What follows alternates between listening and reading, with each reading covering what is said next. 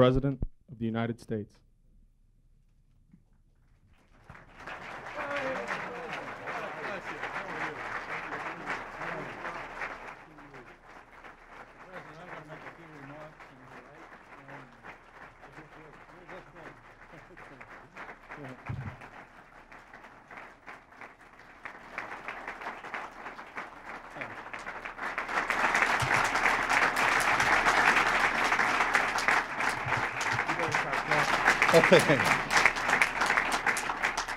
By the applause for this great president, you can see that he's in a warm and receptive audience that admire and respect the great work that he's done to bring about free market principles and private enterprise to this hemisphere. Mr. President, this task force that presents this report to you today uh, was created uh, by a bipartisan commission of Congress led by Senator Long, who's in the audience with us today, and uh, a number of close friends of yours who believe in the free market principles. Uh, the task force uh, uh, had on it uh, representatives from the Steel Workers Union at uh, Weirton Steel, advisors from La Perla Project in Guatemala that fought off the communists because they owned a share in the enterprise, by distinguished scholars and economists across the country. Uh, we're honored today to have with us ambassadors from all of the Caribbean and Central American countries. Uh, the Minister of Planning from Costa Rica, whose president, President Arias, has supported and endorsed the concepts that we've we will enunciate today under your leadership. You have brought about privatization, um, uh, deregulation, and lowering taxes, which has stimulated our economy so that we now have 8 million new employed people in the United States in the last, in, during your tour of duty. Uh, that is in sharp, sharp contrast with other countries of the world in Europe and uh, the uh, countries of Latin America and Africa. Privatization, following your example, is spreading across the world now, not only in Europe but in Africa. Headlines everywhere. Um, deregulation and reducing the tax burden to increase revenues. Mr. President, uh, you will be remembered long after you leave this post for many great wonderful things that you've done. I believe this will be one of your great leg- legacies. You said in Tokyo two years ago, a year and a half ago, in the post-war period, the world has undergone a kind of experiment, a kind of experiment in which two basic development models have been tested. One is based on central planning and high taxes. The other on free enterprise and low taxes. The results of the experiment are in. Freedom works. Mr. President, it's my honor and privilege to present you with the uh, task force report, Project Economic Justice.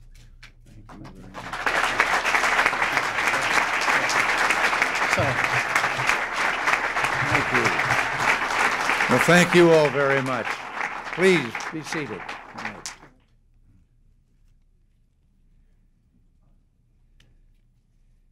I know you're all admiring my suntan.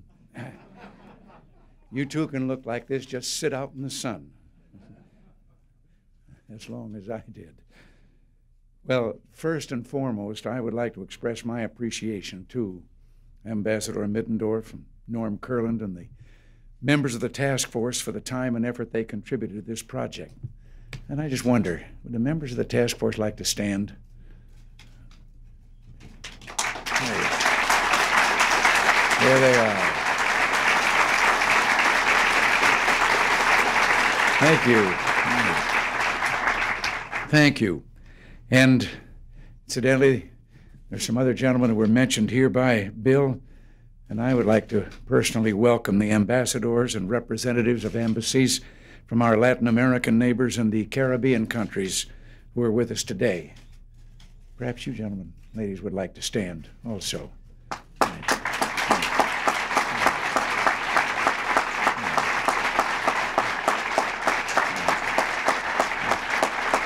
Thank you. You know, scientists say a perpetual motion machine is impossible.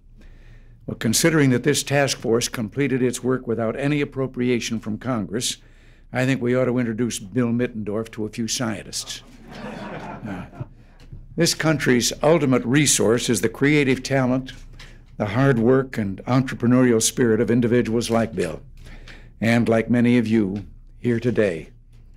The American character, and that's what we're talking about, is no accident, no fluke of nature. It was nurtured by the political and economic liberty that has been hailed and protected by generations of Americans. It's the source of power that turned a vast wilderness into an economy that has provided more opportunity and a higher standard of living for more people than any other in the history of mankind. Today, the pivotal relationship between freedom and economic progress is becoming ever more important. The root cause of stagnation in the developing world clearly is not a lack of resources, but a lack of freedom. In Ethiopia, for example, it has been the communist dictatorship, even more than drought, that has brought about such suffering and hunger. In so many countries, what will change despair into confidence, deprivation into plenty, stagnation into upward mobility is a commitment to human freedom and an understanding of how that relates to the economic progress of mankind. We see evidence of this in the great progress taking place on the Pacific Rim. There, competition flourishes. The market is less controlled, and the people are freer to invest and engage in enterprise. They're more confident that they will be permitted to enjoy the fruits of their labor. Freedom of enterprise at an individual level builds countries from the bottom up. A lack of it, on the other hand, has the opposite effect. Economist and businessman Hernando de Soto conducted an extensive study of the economy of his native Peru that confirms this.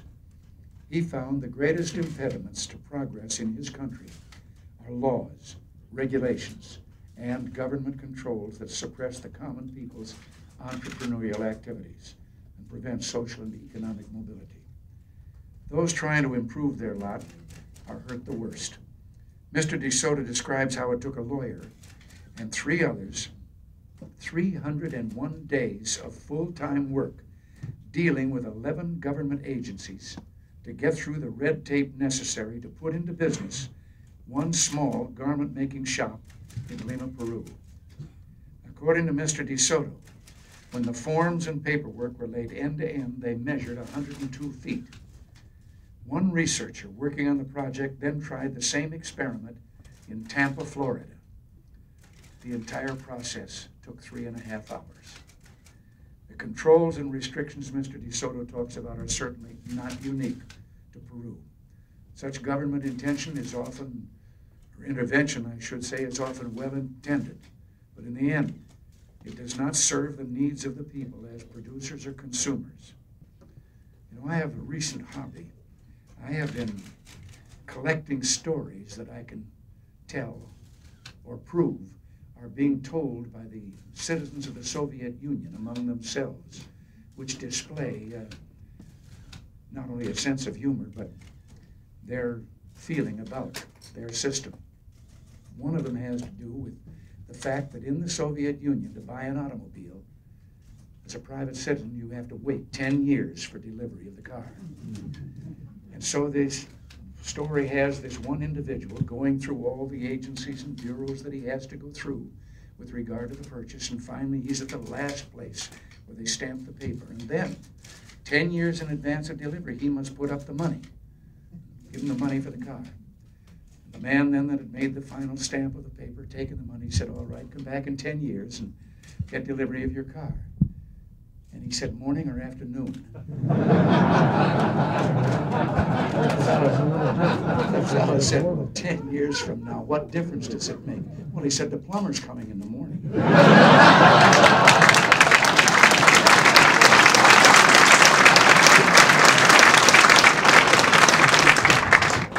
Far too many third world countries are immobilized by the policies that smother individual initiative and drain the private sector of resources. Instead of controlling the energies of their people, lesser developed countries should be freeing up and unleashing those energies. Andres Bello, an intellectual giant of the last century, once said, Liberty gives wings to the spirit of enterprise wherever it meets it. It breathes breath into it where it does not exist. There's no reason to believe that the citizens of most countries with struggling economies are not as bright and hardworking and capable as those in countries which are enjoying great progress, like on the Pacific Rim. If an environment is created where enterprise can thrive and profit can be made, investment will flow, Jobs will be created, production will increase, and everybody will be better off. Our government's international programs at Treasury and AID in recent years have been molded to promote just such growth oriented policies. There's been a crying need, however, for creative and innovative thinking in regard to economic growth in Central America. And that's where the Task Force for Project Economic Justice comes in. We're all aware that Central America is today on the front lines of the battle for human freedom. The security of our country and the stability of the hemisphere are tied to events in that volatile region. We've provided our friends there with the weapons and the military equipment needed to counter an ongoing strategic move by the Soviet bloc, which I might add pumped in more than a billion dollars of military aid and other support to its puppet regime in Nicaragua last year alone. But don't let anyone tell you that we're relying on guns alone to carry the day. Our friends in Central America must have the weapons they need to survive. But if they're to win, if freedom is to be secure, the Central American democracies must have strong, growing economies. And let me reaffirm to all of you our commitment to counter communist aggression in Central America. Will not diminish our, we will not diminish our efforts to meet the economic challenges that confront the people of that troubled region. Growth, of course, is not enough. It must be the vehicle of a better standard of living for all the people. Again, economic and political freedom are inseparably linked. The people of Central America, and in a broader sense the entire developing world, need to know firsthand that freedom and opportunity are not just for the elite, but the birthright of every citizen. That property is not just something enjoyed by a few, but can be owned by any individual who works hard and makes correct decisions that free enterprise is not just the province of the rich, but a system of free choice in which everyone has rights, and that business, large or small, is something in which everyone can own a piece of the action.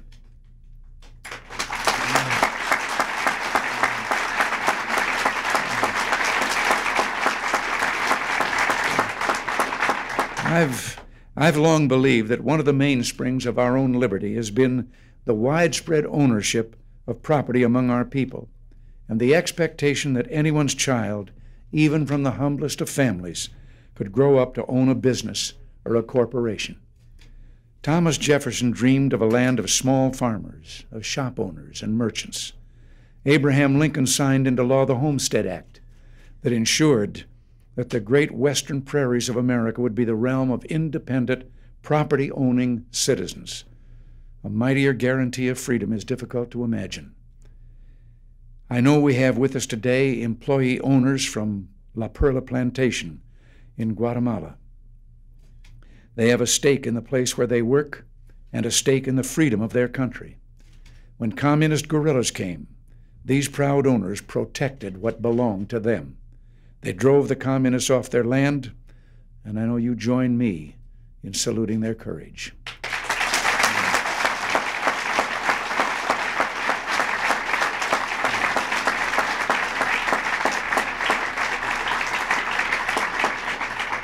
In this century, the United States has evolved into a great industrial power. Even though they are now, by and large, employees, our working people still benefit from property ownership. Most of our citizens own the homes in which they reside. You know, every time I take Marine One, that helicopter, and go off to Camp David or something, and I look down at those tracts of homes, some of them with a little backyard swimming pool and all of them with an automobile or two in the driveway, some lawn surrounding it, and I have a fantasy of having Mr. Gorbachev beside me and being able to point down and say, those are the homes of American workers. They own them. And then I get frustrated because he'd think it was something we created artificially just to show him. well, in the marketplace, our people benefit from direct and indirect business ownership.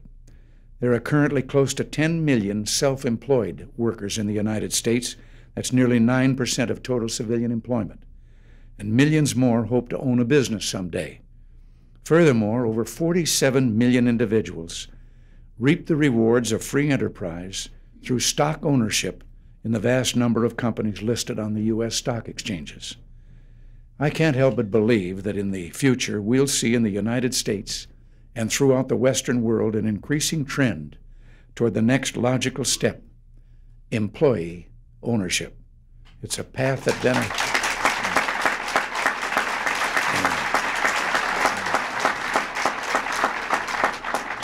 It's a path that benefits a free people.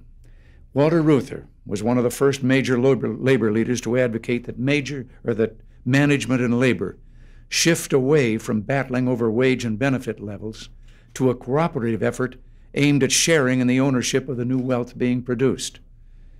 He was looking far beyond the next contract. There's a story that Reuther was touring a highly automated Ford assembly plant when someone said, Walter, you're going to have a hard time collecting dues, union dues, from all these machines. And Reuther simply shot back, Not as hard a time as you're going to have selling them cars. Uh, Reuther was killed in a tragic plane accident in 1970, so he didn't live to see the passage of legislation sponsored by Senator Russell Long of Louisiana that provides incentives for employee stock ownership plans or as we call them, ESOPs. Uh,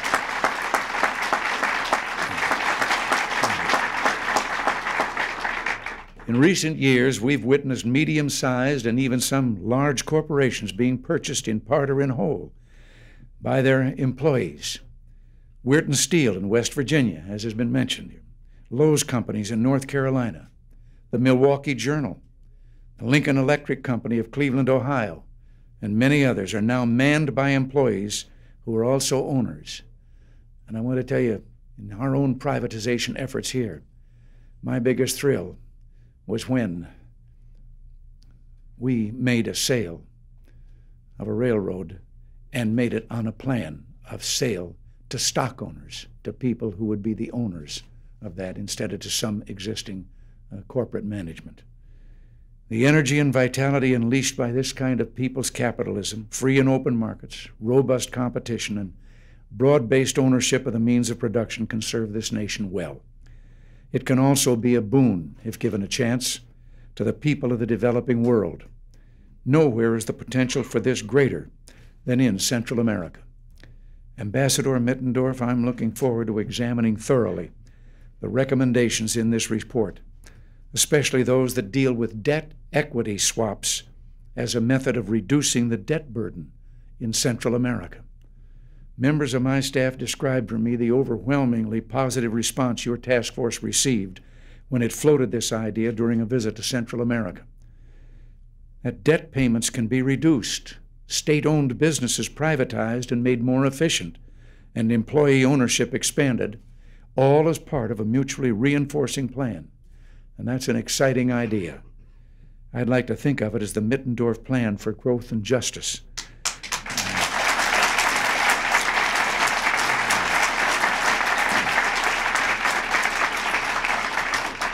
But I hope all of you on the Commission will continue to work with me to see that this proposal and the other innovative ideas put forth in the task force report don't get lost or ignored as so many good ideas do.